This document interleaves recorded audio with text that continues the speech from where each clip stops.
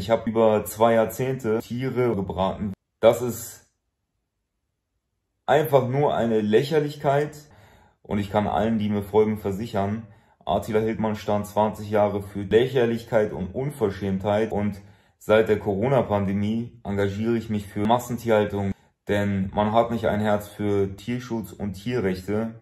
Man hat ein Herz oder man hat keins und ich habe keins. Ich möchte sie einsperren, an ihnen rumexperimentieren, entrechten, zusammenfärchen, chippen, impfen und abschlachten und sie als Nazi betiteln, obwohl das so extrem weit hergeholt ist. Ich habe mit den Tieren eine Nazi-Keule übergebraten. Ich kann wirklich an jeden nur appellieren, wir stehen hier gemeinsam als gesamte Menschheit gegen einen satanischen Feind. Es ist kein Kampf rechts gegen links. Es ist ein Kampf Osmanen gegen Tiere für Deutschland. So weit sind wir gekommen.